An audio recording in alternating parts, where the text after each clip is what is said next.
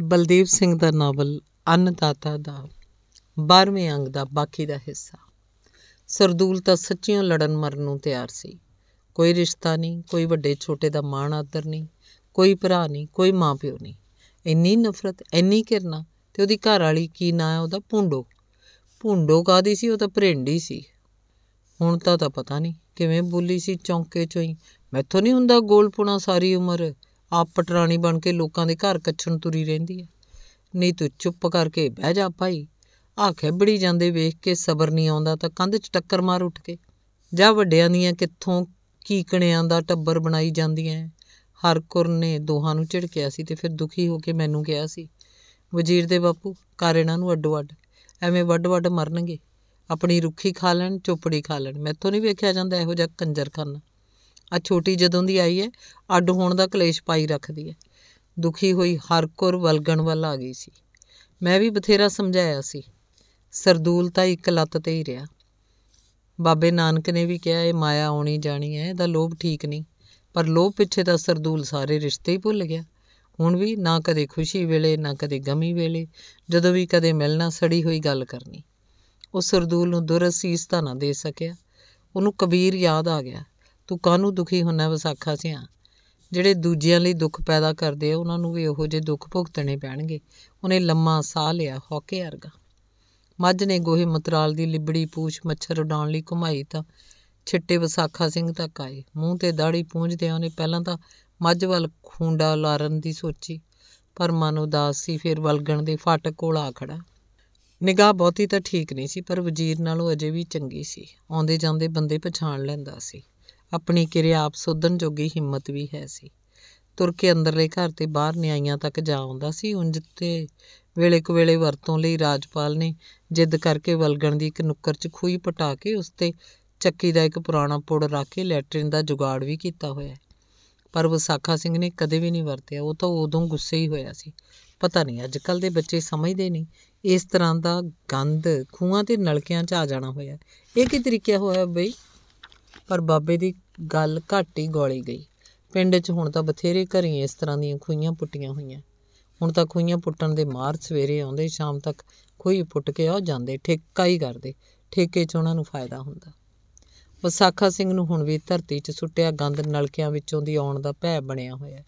ਤਾਂ ਜਦੋਂ ਵੀ ਵਲਗਣ 'ਚ ਲੈਟਰੀਨ ਲਈ ਖੂਹੀ ਪੁੱਟੀ, ਉਹਨੇ ਤਾਂ ਵਲਗਣ ਦੇ ਨਲਕੇ ਤੋਂ ਪਾਣੀ ਪੀਣਾ ਛੱਡਤਾ ਹੋਇਆ।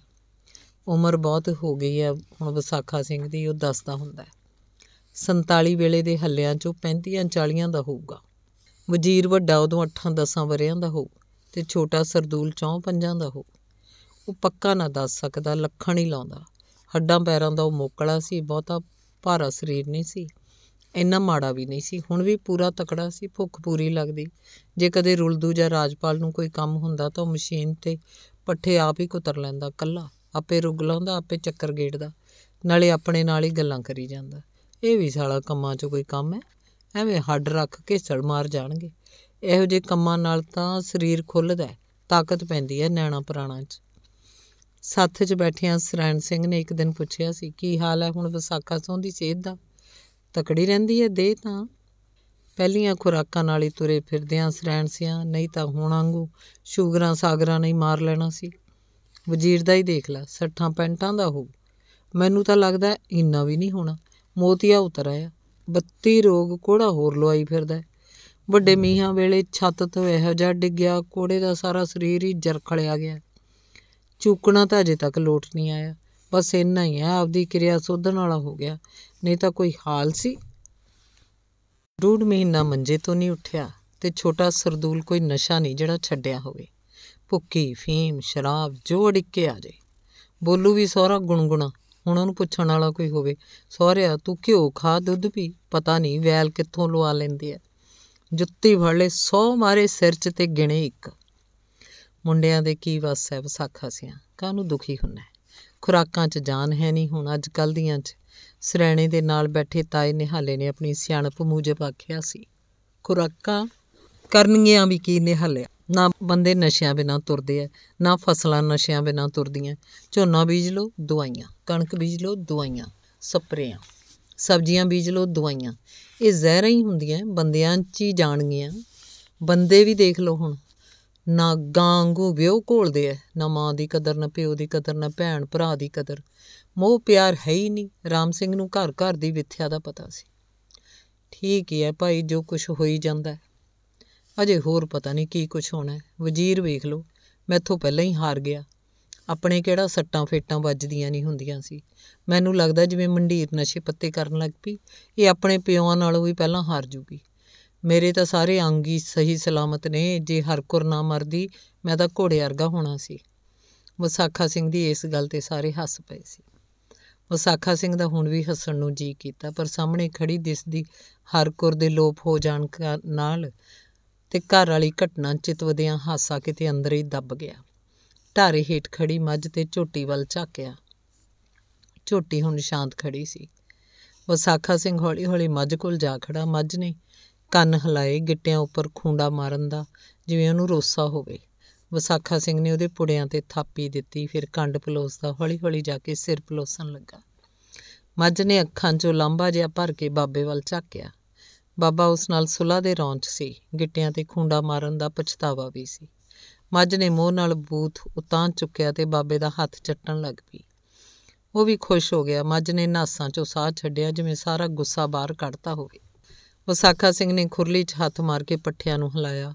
ਮੱਝ ਦੇ ਸਿੰਘ ਪਲੋਸੇ, ਕੰਡ ਤੇ ਦੁਬਾਰਾ ਹੱਥ ਫੇਰਦੇ ਨੇ। ਆਪਣੇ ਮੰਜੇ ਉੱਪਰ ਪਿੱਠ ਮੋੜੀ ਪਏ ਗੁਰੇ ਵੱਲ ਝਾਕਿਆ। ਫਿਰ ਜਾ ਕੇ ਝੋਟੀ ਦਾ ਸਿਰ ਪਲੋਸਣ ਲੱਗਾ। ਚਿੱਤ ਸ਼ਾਂਤ ਨਹੀਂ ਸੀ, ਅਜੀਬ ਜੀ ਭਟਕਣ ਲੱਗੀ ਹੋਈ ਸੀ। ਅੰਦਰਲੇ ਘਰ ਜਾਣ ਲਈ ਮਨ ਨਹੀਂ ਮੰਨ ਰਿਹਾ ਸੀ। ਗਿਆਨ ਕੌਰ ਵੀ ਅੱਜ ਸਾਰਾ ਦਿਨ ਵਲਗਣ 'ਚ ਨਹੀਂ ਆਈ। ਉਹ ਚਾਹੁੰਦਾ ਸੀ ਜੇ ਉਹ ਆ ਜਾਵੇ, ਉਸ ਕੋਲੋਂ ਹੀ ਪੁੱਛਾਂ, ਪਤਾ ਤਾਂ ਲੱਗੇ ਘਰ ਵਾਲਿਆਂ ਦਾ ਕੀ ਹਾਲ ਹੈ? ਰਾਜਪਾਲ ਕਿੱਥੇ ਕਿੱਥੇ ਪਤਾ ਕਰਨ ਗਿਆ? ਆਵਾਜ਼ਾਰ ਹੋਇਆ ਉਹ ਵਲਗਣ ਦੇ ਵਿਹੜੇ 'ਚ ਆ ਗਿਆ। ਫਾਟਕ ਤੱਕ ਤੁਰ ਗਿਆ, ਚਲੋ ਜਾਈਏ ਉਹਨਾਂ ਅੰਦਰਲੇ ਘਰ। ਪਰ ਬਾਹਰ ਜਾਣ ਦਾ ਜੇਰਾ ਨਹੀਂ ਕਰ ਸਕਿਆ, ਫਿਰ ਮੁੜ ਆਇਆ। ਵਿਹੜੇ ਦੇ ਵਿੱਚ ਘਰ ਖੜਾ ਰਿਹਾ, ਦੋਹਾਂ ਹੱਥਾਂ ਦੀ ਕਰਿੰਗੜੀ ਬਣਾ ਕੇ, ਸਾਰਾ ਭਾਰ ਖੁੰਡੇ ਤੇ ਪਾ ਕੇ ਉੱਪਰ ਠੋਡੀ ਰੱਖ ਲਈ ਤੇ ਟਰੈਕਟਰ ਖੜਾ ਕਰਨ ਲਈ ਬਣਾਏ ਆਰਜ਼ੀ ਛਤੜੇ ਵੱਲ ਗੌਰ ਨਾਲ ਤੱਕਣ ਲੱਗਾ। ਛਤੜਾ ਹੁਣ ਸੁੰਨਾ ਪਿਆ ਹੈ। ਹੇਠਾਂ ਜ਼ਮੀਨ ਉੱਪਰ ਟਰੈਕਟਰ ਦੇ ਇੰਜਣ ਵਿੱਚੋਂ ਥਾਂ-ਥਾਂ ਡਿੱਗੇ ਕਾਲੇ ਤੇਲ ਦੇ ਧੱਬੇ ਅਜੇ ਵੀ ਦਿਸਦੇ ਐ ਵਸਾਖਾ ਸਿੰਘ ਝੂਰਨ ਲੱਗਾ। ਮੁੰਡਿਆਂ ਨੇ ਹਿੰਮਤ ਤਾਂ ਬਥੇਰੀ ਕੀਤੀ ਸੀ, ਸੌਰੀ ਤਕਦੀਰ ਨਹੀਂ ਲੜ ਨਹੀਂ ਫੜਾਇਆ। ਕਬੀਲਦਾਰੀ ਦੀਆਂ ਖੁੱਡਾਂ ਬੰਦ ਕਰਦੇ ਕਰਦੇ ਬੈਂਕਾਂ ਦੀਆਂ ਕਿਸ਼ਤਾਂ ਮੋੜਦੇ। ਟਰੈਕਟਰ ਤੇ ਟਰਾਲੀ ਦੋਨੋਂ ਹੀ ਟਰੈਕਟਰਾਂ ਦੀ ਮੰਡੀ ਵੇਚਣੇ ਪਏ। ਦੋ ਕਿੱਲੇ ਵੀ ਹੱਥੋਂ ਗਵਾਏ ਭਗਤੂ ਵੀ ਗੁੰਮ ਹੋ ਗਿਆ ਕਿਧਰੇ। ਕੀ ਪਤਾ ਕਿੱਥੇ ਹੋਊਗਾ। ਇਹਨਾਂ ਵੇਲਿਆਂ ਨਾਲੋਂ ਸਾਡੇ ਵੇਲੇ ਕਿੰਨੇ ਚੰਗੇ ਹੁੰਦੇ ਸੀ। ਉਹ ਪਿੱਛੇ ਭੌਂ ਕੇ ਸੁੰਨੀ ਦਿਸਦੀ ਲੰਮੀ ਖੁਰਲੀ ਵੱਲ ਝਾਕਿਆ। ਕਿਵੇਂ ਸਾਰਾ ਕੁਝ ਹੌਲੀ-ਹੌਲੀ ਰੇਤ ਵਾਂਗ ਹੱਥੋਂ ਕਿਰ ਗਿਆ। ਹੁਣ ਤਾਂ ਮੈਂ ਵੀ ਨਤਾਣਾ ਹੋਇਆ ਫਿਰਦਾ। ਉਦੋਂ ਤਾਂ ਹਾਖਾਂ ਕੁੱਤੀਏ ਨਹੀਂ ਸੀ ਕਹਿਣ ਦਿੰਦਾ ਮੈਂ ਵੀ। ਤੇਲ ਮਲਨੇ ਡੰਡ ਬੈਠਕਾਂ ਕੱਢਣੀਆਂ, ਜ਼ੋਰ ਕਰਨੇ ਮੁਗਦਰ ਝੁਕਣਾ, ਕੌਡੀ ਖਿੱਚਣੀ ਵਿਸਾਖਾ ਸਿੰਘ ਵੇਚੇ ਟਰੈਕਟਰ ਦੇ ਇੱਕ ਕੰਡਮ ਪਏ ਟਾਇਰ ਤੇ ਬੈਠ ਗਿਆ। ਇੱਕ ਥਾਂ ਨੂੰ ਨੀਝ ਲਾ ਕੇ ਵੇਖਣ ਲੱਗਾ। ਇੱਥੇ ਇਸ ਥਾਂ ਤੇ ਪੁੱਟਿਆ ਹੁੰਦਾ ਸੀ ਅਖਾੜਾ ਉਹਨੂੰ ਯਾਦ ਆਇਆ। ਉਹ ਦਿਨ ਬੈਠਕਾਂ ਕੱਢ ਰਿਹਾ ਸੀ, ਉਹ ਗਿਣੀ ਵੀ ਜਾਂਦਾ ਸੀ, ਨਾਲੋਂ ਨਾਲ 7100 ਪੂਰੀਆਂ ਕਰਕੇ ਹਟਦਾ ਹੁੰਦਾ ਸੀ, ਅਜੇ 60 ਪੈਂਟਾਂ ਦੇ ਪਹੁੰਚਿਆ ਸੀ। ਔਰ ਸਾਹਮਣੇ ਕੋਠੇ ਤੇ ਖੜੀ ਵੇਂਦੀ ਸੀ ਉਹ ਮੈਨੂੰ। ਉਹ ਵਲਗਣ ਤੋਂ ਪਾਰ ਦਿਸਦੇ ਇੱਕ ਮਕਾਨ ਵੱਲ ਝਾਕਿਆ। ਮੇਰਾ ਤਾਂ ਧਿਆਨ ਹੀ ਨਹੀਂ ਸੀ ਉਧਰ। ਮੈਂ ਤਾਂ ਗਿਣਤੀ 'ਚ ਹੀ ਉਲਝਿਆ ਹੋਇਆ ਸੀ। 60 ਉੱਤੇ ਇੱਕ 60 ਉੱਤੇ ਦੋ 60 ਉੱਤੇ ਤਿੰਨ। ਪਤਾ ਨਹੀਂ ਕਿਵੇਂ ਮੇਰਾ ਧਿਆਨ ਅਚਾਨਕ ਕਿਵੇਂ ਉੱਪਰ ਛੱਤ ਵੱਲ ਚਲਾ ਗਿਆ ਸੀ। ਉਹ ਦੰਦਾਂ ਹੇਠ ਬੁੱਲ ਦਬਾਈ ਇੱਕ ਟੱਕ ਮੈਨੂੰ ਵੇਖੀ ਜਾਂਦੀ ਸੀ। ਮੈਂ ਤਾਂ ਗਿਣਤੀ ਭੁੱਲ ਗਿਆ ਤੇ ਬੈਠਕਾਂ ਵੀ। ਉਹ ਇੱਕਦਮ ਹੇਠਾਂ ਬਹਿ ਗਈ ਸੀ। ਕਿੰਨੀ ਸ਼ਰਮ ਆਈ ਸੀ ਮੈਨੂੰ। ਭਲਾ ਜੇ ਉਦੋਂ ਬੈਠਕਾਂ ਕੱਢਦੇ ਤਾਂ ਲੰਗੋਟ ਖੁੱਲ ਜਾਂਦਾ। ਕਿੰਨੀ ਵਾਰੀ ਤਾਂ ਖੁੱਲਿਆ ਸੀ। ਵਿਸਾਖਾ ਸਿੰਘ ਹੁਣ ਵੀ ਕਲਪਨਾ 'ਚ ਉਸ ਦ੍ਰਿਸ਼ ਨੂੰ ਚੇਤੀ ਕਰਕੇ ਕੱਚਾ ਜਿਹਾ ਹੱਸਿਆ। ਉਸ ਘਰ ਦੀ ਛੱਤ ਵੱਲ ਵੇਖਣ ਦਾ ਯਤਨ ਕੀਤਾ। ਹੁਣ ਤਾਂ ਘਰ ਹੀ ਖੋਲਾ ਬਣਿਆ ਪਿਆ ਪਿਓ ਸ਼ਰਾਬੀ ਕਬਾਬੀ ਸੀ, ਮਾਂ ਕਦੋਂ ਦੀ ਚੱਲ ਵਸੀ ਸੀ, ਇੱਕ ਭਰਾ ਸੀ, ਉਦੋਂ ਤਾਂ ਬਾਲ ਆਈ ਅਲੂਆਂ ਜਿਹਾ ਸੀ। 6-7 ਸਾਲ ਦਾ ਹੋਊਗਾ ਉਦੋਂ, ਮਗਰੋਂ ਤਾਂ ਬੜਾ ਤੂਫਾਨੀ ਨਿਕਲਿਆ ਸੀ, ਪਾਪੜ ਵੀ ਬੜੇ ਵੇਲੇ ਉਹਨੇ। ਸਰਦੂਰ ਦਾ ਹਾਣੀ, ਸਰਦੂਲ ਦਾ ਹਾਣੀ ਹੋਊਗਾ ਕੀ ਨਾ ਉਹਦਾ ਭਲਾ ਜਿਹਾ ਸੋਚਣ ਲੱਗਾ, ਹਾਂ, ਕੁੱਕਰ ਕੁੱਕਰ ਹੀ ਹੈ। ਚੰਗੇ ਭਾਗੀ ਉਸ ਕੁੜੀ ਦਾ ਵਿਆਹ ਹੋ ਗਿਆ ਵੇਲੇ ਸਿਰ। ਚਲੋ, ਆਪਣੇ ਘਰ ਸੁਖੀ ਸਾਂਦੀ ਵਸਦੀ ਹੈ। ਕੁੱਕਰ ਦਾ ਤਾਂ ਕਿਤੇ ਥੋਂ ਟਿਕਾਣਾ ਹੀ ਹੈ ਨਹੀਂ। ਥੋੜੀ ਬਹੁਤੀ ਜਿਹੜੀ ਪੈਲੀ ਸੀ, ਪਤਾ ਨਹੀਂ, ਪਿਓ ਪੁੱਤ ਦੋਵੇਂ ਆਪ ਹੀ ਖਾ ਗਈ ਸੀ। ਪਤਾ ਨਹੀਂ ਕਿਸੇ ਨੇ ਨੱਪ ਲਈ। ਇਹ ਦੁਨੀਆ ਵੀ ਪੱਕੀ ਫੇਰੇ ਦੇਣੀ ਹੈ। ਜਿਹੜਾ ਇਹਦੇ ਗਲ 'ਚ ਗੂਠਾ ਦਿੰਦਾ ਹੈ, ਉਹਨੂੰ ਬਾਪੂ ਆਖਦੀ ਹੈ, ਮਾੜਿਆਂ ਨੂੰ ਸਾਲੇ ਬਣਾਈ ਫਿਰ ਰੱਖਦੀ ਹੈ। ਚੱਲ ਮਨਾ, ਆਖ ਕੇ ਉਹ ਹੌਕਾ ਲੈ ਕੇ ਉੱਠਿਆ, ਧਰਤੀ ਤੇ ਖੂੰਡਾ ਠੋਕ ਕਰਕੇ ਯਾਦਾਂ ਦੇ ਝੁੰਡਾਂ ਨੂੰ ਉਡਾਤਾ ਤੇ ਫਾਟਕ ਖੋਲ ਕੇ ਬਾਹਰ ਨਿਕਲ ਆਇਆ। ਸਾਹਮਣੀ ਤਰਵੈਣੀ ਹੇਠਾਂ ਥੜੇ ਉੱਪਰ ਬੈਠਾ ਮਧਰੇ ਕੱਦ ਤੇ ਨਿੱਕੀਆਂ ਅੱਖਾਂ ਵਾਲਾ ਨਰੈਣ ਸਿੰਘ ਵਸਾਖਾ ਸਿੰਘ ਨੂੰ ਤੁਰਿਆ ਆਉਂਦਾ ਵੇਖ ਕੇ ਖੜਾ ਹੋ ਗਿਆ। ਪਹਿਲਾਂ ਟਿਕਟਕੀ ਲਾ ਕੇ ਵੇਂਦਾ ਰਿਹਾ, ਫਿਰ ਅੱਗਾ ਵੜਨ ਦੀ ਮਨਸ਼ਾ ਨਾਲ ਵਸਾਖਾ ਸਿੰਘ ਵੱਲ ਨੂੰ ਤੁਰ ਪਿਆ। ਦੋਹਾਂ ਅੱਖਾਂ ਤੇ ਹੱਥ ਦਾ ਛੱਜਾ ਬਣਾ ਕੇ ਪਹਿਲਾਂ ਤਸੱਲੀ ਨਾਲ ਝਾਕਿਆ, ਜਦ ਪੱਕ ਹੋ ਗਈ ਵੀ ਇਹ ਵਿਸਾਖਾ ਸਿੰਘ ਹੀ ਹੈ। ਤਾਂ ਆਪਣੀ ਤਾਕਤ ਮੁਜਬ ਸਿਰ ਉੱਪਰ ਲਪੇਟੀ ਢਿੱਲੀ ਮੈਲੀ ਪੱਗ ਸਿਰ ਤੋਂ ਕਾਸ ਕੇ ਫਿਰ ਉਵੇਂ ਟੋਪੀ ਵਾਂਗ ਧਰ ਲਈ, ਜਿਵੇਂ ਭੰਡ ਆਪਣੀ ਰਾਸ ਪਾਉਣ ਵੇਲੇ ਅਕਸਰ ਹੀ ਕਰਦੇ ਹੁੰਦੇ ਆ। ਤੇ ਜਦੋਂ ਵਿਸਾਖਾ ਸਿੰਘ ਬਹੁਤ ਹੀ ਨੇੜੇ ਆ ਗਿਆ ਤਾਂ ਨਰੈਣ ਨੇ ਮੀਸਣਾ ਜਿਹਾ ਬਣਦਿਆਂ ਪੁੱਛਿਆ, ਵਸਾਖਾ ਸੂ ਹੈ? ਵਿਸਾਖਾ ਸਿੰਘ ਬੋਲਿਆ ਨਹੀਂ। ਉਹ ਨਰੈਣ ਸਿੰਘ ਦੀ ਆਦਤ ਤੋਂ ਜਾਣੂ ਹੈ। ਉਹ ਖੜ ਕੇ ਨਰੈਣ ਸਿੰਘ ਵੱਲ ਤੱਕਣ ਲੱਗਾ। ਖੂੰਡਾ ਸੱਜੇ ਹੱਥ ਵਿੱਚੋਂ ਖੱਬੇ ਹੱਥ ਫੜ ਲਿਆ। ਵਿਸਾਖਾ ਸੂਈ ਲੱਗਦਾ, ਨਰੈਣ ਸਿੰਘ ਨੇ ਤਸੱਲੀ ਕਰਨ ਲਈ ਫੇਰ ਪੁੱਛਿਆ, ਤੈਨੂੰ ਕਿਹੜਾ ਚਾਹੀਦਾ? ਵਿਸਾਖਾ ਸਿੰਘ ਰੁੱਖਾ ਬੋਲਿਆ, ਆਵਾਜ਼ ਸੁਣ ਕੇ ਨਰੈਣ ਸਿੰਘ ਦੇ ਚਿਹਰੇ ਤੇ ਰੌਣਕ ਆ ਗਈ। ਹੋਰ ਨੇੜੇ ਹੁੰਦਿਆਂ ਧੀਮੀ ਸੁਰ 'ਚ ਪੁੱਛਿਆ, ਵਿਸਾਖਾ ਸਿਆਂ, ਲੱਗਿਆ ਕੋਈ ਪਤਾ ਕੁੜੀ ਦਾ? ਕੋੜੀ ਨੇ ਕੀ ਲੋੜਾ ਮਾਰਿਆ? ਇੱਕ ਪਲ ਤਾਂ ਵਿਸਾਖਾ ਸਿੰਘ ਦਾ ਜੀ ਕੀਤਾ ਖੂੰਡਾ ਮਾਰ ਕੇ ਨਰੈਣ ਸਿੰਘ ਦਾ ਸਿਰ ਪਿੱਠੇ ਵਾਂਗੂ ਫੇ ਕੇ ਰੱਖ ਦੇਵੇ। ਪਰ ਉਮਰ ਦੇ ਇਸ ਪੜਾਅ ਤੱਕ ਪੁੱਜਦਿਆਂ ਪੁੱਜਦਿਆਂ ਬਥੇਰੇ ਉਤਰਾ ਚੜਾ ਵੇਖੇ ਹੋਏ ਸੀ। ਕਿਸੇ ਦੀ ਗੱਲ ਸਹਿਣੀ ਵੀ ਆ ਗਈ ਸੀ। ਆਪਣਾ ਗੁੱਸਾ ਵੀ ਕਾਬੂ ਕਰਨ ਦਾ ਪਤਾ ਸੀ। ਕਿਹਦਾ ਕਿਹਦਾ ਸਿਰ ਫੇਹੇਗਾ ਲੋਕ ਤਾਂ ਸਾਖ ਦੇਣੇ ਹਮਦਰਦੀ ਘੱਟ ਕਰਦੇ ਆ, ਦੂਜੇ ਦੇ ਜ਼ਖਮਾਂ ਤੇ ਲੂਣ ਵੱਧ ਭੁੱਕਦੇ ਆ। ਤੇ ਜਦੋਂ ਆਪਣੇ ਘਰ ਅੱਗ ਲੱਗਦੀ ਹੈ, ਤਾਂ ਹੀ ਪਤਾ ਲੱਗਦਾ ਹੈ ਇਸ ਅੱਗ 'ਚ ਸੇਕ ਵੀ ਹੁੰਦਾ ਤੇ ਬੰਦੇ ਦਾ ਅੰਦਰ ਵੀ ਸਾੜਦੀ ਹੈ ਤੇ ਬਾਹਰ ਵੀ ਸਾੜਦੀ ਹੈ। ਪਹਿਲਾਂ ਵਿਸਾਖਾ ਸਿੰਘ ਦਾ ਜੀ ਕੀਤਾ, ਨਰੈਣ ਸਿੰਘ ਦੀ ਗੱਲ ਦਾ ਉੱਤਰ ਨਾ ਦੇਵੇ, ਚੁੱਪਚਾਪ ਤੁਰਿਆ ਜਾਵੇ। ਫਿਰ ਪਤਾ ਨਹੀਂ ਕੀ ਸੋਚ ਕੇ ਆਪਣੇ ਆਪ ਨੂੰ ਸਹਿਜ ਰੱਖਣ ਦਾ ਯਤਨ ਕਰਦਾ ਬੋਲਿਆ, ਨਰੈਣ ਸਿਆ, ਚੱਲਿਆ ਤਾਂ ਮੈਂ ਅੰਦਰਲੇ ਘਰ ਹੀ ਆ। ਪਤਾ ਕਰਕੇ ਦੱਸਣ ਆਉਂਗਾ ਤੈਨੂੰ, ਜੇ ਰਾਤ ਨੂੰ ਤੈਨੂੰ ਨੀਂਦ ਨਾ ਆਵੇ ਤਾਂ ਮੈਥੋਂ ਵਲਗਣ ਚ ਆ ਕੇ ਪੁੱਛ ਰਹੀ ਵਜ਼ੀਰ ਨੇ ਵੀ ਅੱਖਾਂ ਦਾ ਆਪਰੇਸ਼ਨ ਕਰਵਾਇਆ। ਉਹਦਾ ਵੀ ਪਤਾ ਕਰਕੇ ਆਉਂਗਾ ਉਹਦੇ ਬਾਰੇ ਤਾਂ ਨਾ, ਤਾਂ ਨਹੀਂ ਪੁੱਛਣਾ ਕੁਝ ਤੇ ਨਰੈਣ ਸਿੰਘ ਦੀ ਹੂੰ ਹਾਂ ਸੁਣੇ ਬਿਨਾਂ ਹੀ ਵਿਸਾਖਾ ਸਿੰਘ ਤੁਰ ਪਿਆ। ਨਰੈਣ ਸਿੰਘ ਭਮਤਰਿਆ ਜਾ ਖੜਾ ਰਿਹਾ। ਉਹਨੂੰ ਵਿਸਾਖਾ ਸਿੰਘ ਵੱਲੋਂ ਅਜਿਹੀ ਆਸ ਨਹੀਂ ਸੀ। ਸਿਰ ਉੱਪਰੋਂ ਪੱਗ ਇੱਕ ਵਾਰ ਫੇਰ ਉਗਾਸ ਕੇ ਦੁਬਾਰਾ ਉਵੇਂ ਰੱਖ ਲਈ। ਮੂੰਹ 'ਚ ਬੁੜਬੁੜ ਕਰਨ ਲੱਗਾ। ਤੂੰ ਕੀ ਦੱਸਣ ਆਏਗਾ ਮੈਨੂੰ ਵਿਸਾਖਾ ਸਿੰਘ ਢਿੱਲੋਂ ਸਾਹਿਬ? ਤੇਰੇ ਨਾਲੋਂ ਪਹਿਲਾਂ ਤਾਂ ਚੱਕ ਬੂੜ ਸਿੰਘ ਦੇ ਪਸ਼ੂਆਂ ਜਨੌਰਾਂ ਨੂੰ ਵੀ ਪਤਾ ਲੱਗ ਜੂ। ਉਹਨੇ ਸਿਰ ਨੂੰ ਝਟਕਾ ਦਿੱਤਾ। ਢਿੱਲੀ ਪੱਗ ਆਪਣੀ ਥਾਂ ਤੋਂ ਹਿੱਲੀ ਇੱਕ ਹੋਰ ਝਟਕੇ ਨਾਲ ਉਹਨੇ ਪੱਗ ਨੂੰ ਪਹਿਲਾਂ ਵਾਲੀ ਥਾਂ ਤੇ ਕਰ ਲਿਆ। ਫਿਰ ਉਹ ਆਪਣੇ ਘਰ ਵੱਲ ਚਲਾ ਗਿਆ। ਵਿਸਾਖਾ ਸਿੰਘ ਦਾ ਚਿੱਤ ਪਹਿਲਾਂ ਨਾਲੋਂ ਵੀ ਦੁਖੀ ਹੋ ਗਿਆ। ਅੰਦਰਲੇ ਘਰ ਉਹਨੇ ਵਜ਼ੀਰ ਦੀ ਅੱਖ ਦਾ ਪਤਾ ਲੈਣ ਵੀ ਜਾਣਾ ਸੀ। ਕੁੜੀ ਵਾਲੇ ਸੱਜਰੇ ਜ਼ਖਮ ਨੇ ਤਾਂ ਉਹਨੂੰ ਬਾਹਰ ਅੰਦਰ ਨਿਕਲਣ ਜੋਗਾ ਵੀ ਨਹੀਂ ਛੱਡਿਆ। ਅੰਨ ਰਹਿਣੇ ਅਰਗੇ ਹੀ ਨਹੀਂ ਮਾਨ।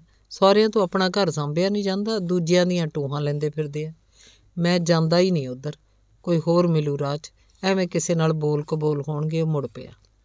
ਜਦੋਂ ਕੋਈ ਰੋਟੀ ਦੇਣ ਆਇਆ, ਪੁੱਛ ਲਊਂਗਾ ਉਹਨੂੰ। ਮੇਰੇ 'ਚ ਤਾਂ ਹੈ ਨਹੀਂ ਹਿੰਮਤ ਹੁਣ, ਇਹੋ ਜੀਆਂ ਗੱਲਾਂ ਸੁਣਨ ਦੀ। ਲੋਕਾਂ ਨੂੰ ਤਾਂ ਮਸਾ ਮੌਕਾ ਮਿਲਦਾ ਹੈ। ਮਿਰਚਾਂ ਮਸਾਲੇ ਲਾ ਲਾ ਕੇ ਗੱਲਾਂ ਕਰਦੇ ਹੋਣਗੇ। ਜਦੋਂ ਆਪਣੀ ਔਲਾਦ ਖੋਟੀ ਹੋਵੇ, ਫਿਰ ਦੂਜਿਆਂ ਨੂੰ ਕੀ ਦੋਸ਼ ਦੇਣਾ? ਸੋਚਦਾ ਫਿਰ ਫਾਟਕ ਕੋਲ ਆ ਖੜਾ। ਸੂਰਜ ਢਾਬ ਵਾਲੇ ਛੱਪੜ 'ਚ ਡੁੱਬ ਗਿਆ ਸੀ। ਹਨੇਰਾ ਪਸਰਨ ਲੱਗਾ ਸੀ। ਇਸ ਸਮੇਂ ਵਿਸਾਖਾ ਸਿੰਘ ਨੂੰ ਧੁੰਦਲਾ ਦਿਸਣ ਲੱਗਦਾ ਹੈ। ਉਹਨੇ ਧੱਕ ਕੇ ਵਲਗਣ ਦਾ ਫਾਟਕ ਖੋਲ੍ਹਿਆ। ਅੰਦਰ ਲੰਘ ਕੇ ਫੇਰ ਬੰਦ ਕੀਤਾ। ਆ ਕੇ ਵਰਾਂਡੇ 'ਚ ਮੰਜੇ ਦੀ ਬਾਹੀ ਤੇ ਬਹਿ ਗਿਆ। ਗੁਰਾ ਪਿਆ ਪਿਆ ਸੌਂ ਗਿਆ ਸੀ। ਮੱਝ ਨੇ ਇੱਕ ਵਾਰ ਧੌਣ ਘੁਮਾ ਕੇ ਵਿਸਾਖਾ ਸਿੰਘ ਵੱਲ ਵੇਖਿਆ। ਫਿਰ ਵਲਗਣ ਦੇ ਫਾਟਕ ਵੱਲ ਤੱਕਣ ਲੱਗੀ। ਹੁਣ ਪੱਠੇ ਪਾਉਣ ਦਾ ਤੇ ਧਾਰ ਕੱਢਣ ਦਾ ਵੇਲਾ ਹੋ ਗਿਆ ਸੀ। ਮੱਝ ਤੇ ਵਿਸਾਖਾ ਸਿੰਘ ਦੋਵੇਂ ਵਲਗਣ ਦੇ ਫਾਟਕ ਵੱਲ ਝਾਕਦੇ ਗਿਆਨ ਕੌਰ ਨੂੰ ਢੀਕਣ ਲੱਗੇ। ਪੁਰਾਣਾ ਸਮਾਂ ਹੁੰਦਾ ਤਾਂ ਪਹਿਲਾਂ ਵਿਸਾਖਾ ਸਿੰਘ ਨੇ ਫੌੜੇ ਨਾਲ ਮੱਝਾਂ ਦਾ ਗੋਹਾ ਇੱਕ ਪਾਸੇ ਹਟਾਉਣਾ ਸੀ। ਫਿਰ ਇੱਕ ਨੁੱਕਰ 'ਚ ਲਿਆ ਕੇ ਰੱਖੀ ਸੁੱਕ ਰੇਤਾ, ਖਿਲਾਰਨੀ ਸੀ। ਮੱਝਾਂ ਨੂੰ ਪੱਠੇ ਪਾਉਣੇ ਸੀ। ਫਿਰ ਬਾਹਰ ਛਤੜੇ ਹੇਠ ਖੜੇ ਟਰੈਕਟਰ ਦੀ ਸ਼ੋ ਪਰਨੇ ਨਾਲ ਸਾਫ਼ ਕਰਨੀ ਸੀ। ਟਰਾਲੀ ਟਰਾਲੀ ਦੇ ਡਾਲੇ ਨਾਲ ਲੱਗੀਆਂ ਹੁੱਕਾਂ ਦੇ ਸੰਗਲ ਹਿਲਾ ਕੇ ਸੰਗੀਤ ਪੈਦਾ ਕਰਨਾ ਸੀ। ਟਰੈਕਟਰ ਦਾ ਸਟੀਅਰਿੰਗ ਹਿਲਾ ਕੇ ਵੇਖਣਾ ਸੀ। ਫਿਰ ਜ਼ਰਾ ਕੁ ਹਾਰਨ ਵਜਾਉਣਾ ਸੀ। ਫਿਰ ਇੱਕ ਪਾਸੇ ਰੱਖਿਆ ਖੁੰਡਾ ਚੁੱਕ ਕੇ, ਉਸ ਤੇ ਪੂਰਾ ਭਾਰ ਪਾ ਕੇ ਝੁੱਕ ਕੇ ਮਾਣ ਨਾਲ ਭਰੇ ਪੂਰੇ ਵਲਗਣ ਵੱਲ ਤੱਕਣਾ ਸੀ। ਸੋਚਣਾ ਸੀ, ਚਲੋ ਭਗਤੂ ਤਾਂ ਜੋ ਕਰ ਗਿਆ ਕਰ ਗਿਆ। ਰਾਜਪਾਲ ਨੇ ਤਾਂ ਖੇਤੀ ਦਾ ਕੰਮ ਸੰਭਾਲ ਕੇ ਰੇਵੀਏ ਪਾ ਲਿਆ। ਪਿੰਡ 'ਚ ਵੀ ਉਹਦੀ ਪੁੱਛ ਪ੍ਰਤੀਤ ਹੋਣ ਲੱਗੀ ਹੈ। ਹੁਣ ਤਾਂ ਵਜ਼ੀਰ ਨੂੰ ਕਹਿ ਕੇ ਇਹਦਾ ਵਿਆਹ ਕਰੀਏ ਵੇਲੇ ਸਿਰ। ਸੋਚਦਾ ਵਿਸਾਖਾ ਸਿੰਘ ਬਹੁਤ ਉਦਾਸ ਹੋ ਗਿਆ।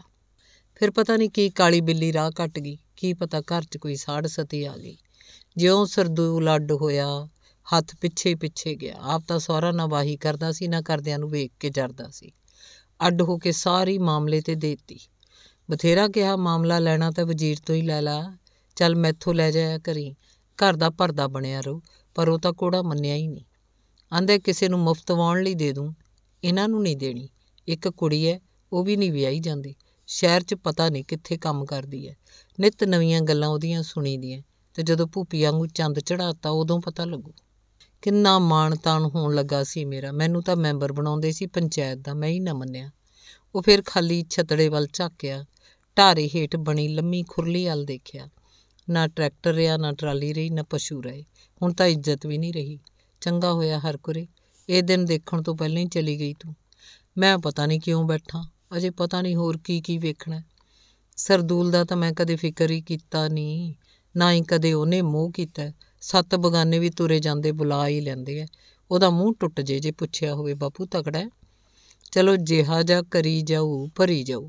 ਵਜ਼ੀਰ ਤਾਂ ਨਿਰੀ ਗਊ ਹੈ। ਰੱਬ ਵੀ ਧੱਕਾ ਕਰਨ ਲੱਗਾ, ਬੰਦਾ ਕ ਬੰਦਾ ਨਹੀਂ ਦੇਖਦਾ। ਕੀ ਪਤਾ ਭਾਈ ਰੱਬ ਵੀ ਕੰਜਰਾਂ ਤੋਂ ਡਰਦਾ ਹੋ ਉਦੋਂ ਹੀ ਵਿਸਾਖਾ ਸਿੰਘ ਨੇ ਫਾਟਕ ਖੁੱਲਣ ਦਾ ਖੜਾਕ ਸੁਣਿਆ। ਉਹਨੇ ਧਰਤੀ ਤੇ ਖੁੰਡਾ ਠੋਕਰ ਕੇ ਖੰਗੂਰਾ ਮਾਰਿਆ। ਗਿਆਨ ਕੌਰ ਘੁੰਡ ਵੱਜੋਂ ਚੁੰਨੀ ਦਾ ਲੜ ਦੰਦਾਂ 'ਚ ਫੜੀ, ਇੱਕ ਹੱਥ 'ਚ ਰੋਟੀਆਂ, ਦੂਜੇ ਹੱਥ 'ਚ ਬਾਲਟੀ ਫੜੀ, ਵਰਾਂਡੇ 'ਚ ਆ ਖੜੀ। ਮੱਝ ਉਹਨੂੰ ਵੇਖ ਕੇ ਜ਼ਰਾ ਘੜਿੰਗੀ।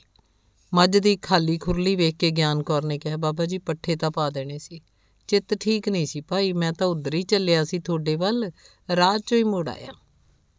ਉਧਰ ਵੀ ਸੱਥਰ ਵਿਛਾਈ ਬੈਠਿਆ ਬਾਬਾ ਜੀ। ਤੇਰਾ ਪੁੱਤ ਤਾਂ ਉਹੀ ਢੇਰੀ ਢਾਈ ਪਿਆ। ਦੁਪਹਿਰੇ ਆਇਆ ਮੰਡੀੋਂ ਝੋਨਾ ਤਲਾ ਕੇ ਆਏ ਨੂੰ ਪਤਾ ਲੱਗਿਆ ਤਾਂ ਖੜਾ ਖੜਾ ਵਿਹੜੇ 'ਚ ਡਿੱਗ ਪਿਆ। ਉਹਨੂੰ ਸਾਂਭਣ ਲੱਗੇ ਰਹੇ, ਹੱਥਾਂ ਪੈਰਾਂ ਤੇ ਮਾਲਿਸ਼ ਕੀਤੀ, ਸਿਰ 'ਚ ਘਿਓ ਝੱਸਿਆ ਤਾਂ ਜਾ ਕੇ ਸੁਰਤ ਫੜੀ। ਚੁੱਲ੍ਹੇ 'ਚ ਅੱਗ ਵੀ ਥੋੜੇ ਕਰਕੇ ਪਾਈ ਐ ਉਧਰ ਤਾਂ ਨਹੀਂ। ਕੱਲ ਕਿਸੇ ਨੇ ਰੋਟੀ ਖਾਧੀ ਐ ਨਾ ਅੱਜ ਕਿਸੇ ਦੇ ਬੁਰਕੀ ਲੰਗੀ ਆ, ਪਤਾ ਨਹੀਂ ਕੀ ਗਊ ਹੱਤਿਆ ਹੋ ਗਈ ਟੱਬਰ ਤੋਂ। ਬਾਬਾ ਜੀ ਵੇਖ ਲਾ, ਸਰਦੂਲ ਆਪਦਾ ਲਹੂ ਐ, ਕੋੜਿਆ ਜਾਵੇ, ਜੇ ਇੱਕ ਵਾਰ ਵੀ ਪੁੱਛਣ ਆਇਆ ਹੋਵੇ, ਭਾਈ ਕੀ ਗੱਲ ਹੋ ਗਈ? ਗਿਆਨਕੌਰ ਦਾ ਗੱਚ ਭਾਰ ਆਇਆ, ਉਹ ਤਾਂ ਭਰੀ ਪੀਤੀ ਪਈ ਸੀ, ਕਿਹਦੇ ਕੋਲ ਦੁੱਖ ਰੋਵੇ? ਅੱਖਾਂ ਪੂੰਝਦੀ ਨੇ, ਮੱਝ ਨੂੰ ਪੱਠੇ ਪਾਏ, ਫਿਰ ਥਾਪੀ ਦੇ ਕੇ ਹੇਠਾਂ ਬੈਠ ਗਈ। ਧੰਨਵਾਦ, ਚੱਲਦਾ।